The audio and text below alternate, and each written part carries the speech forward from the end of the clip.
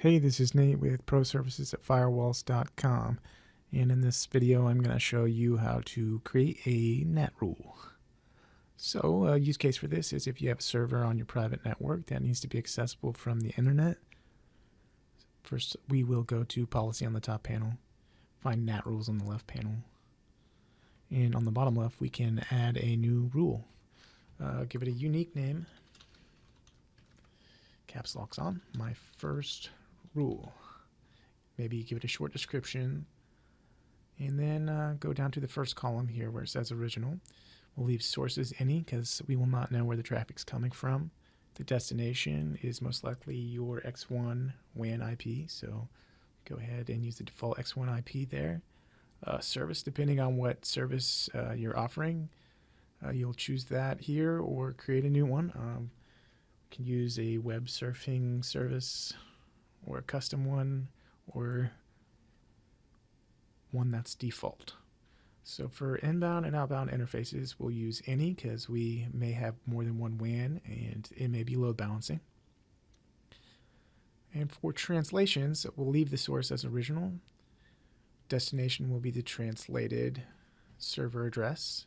Um, we can create a new one by clicking the pencil, adding a new address object. So we'll call it server one. It's in a DMZ zone. And it is a host type. Give it an IP address.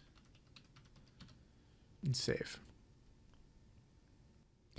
Under advanced actions, you can see that we have the ability to create a reflexive policy.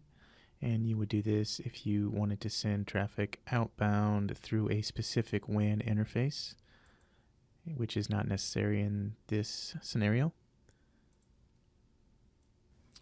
And here's all the NAT rules in the firewall, and you can filter these out by default and custom, default rules, or custom rules. If you take a look at the custom rules, you'll see that I have my first rule here. Uh, you can expand this and see a graphical representation of the translation. Um, you can also look at enabled or disabled rules used and unused.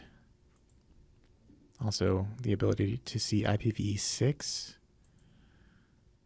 At the bottom, there are options to edit these NAT rules. You can move them up and down, clone them, and you also can start and stop a live counter, uh, which will turn these hits green and uh, captures those the traffic statistics.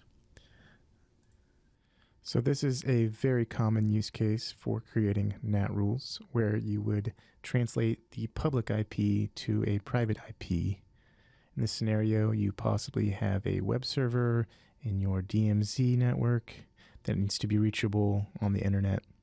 Other use cases for creating NAT rules are source NATs, where you translate the source address. In the case that you have multiple public IPs, you can choose which public IP you want to come from or port translation, which is useful when the firewall is acting as a reverse proxy server or web application firewall, where it decrypts traffic on port 443 and sends it to your web server on port 80.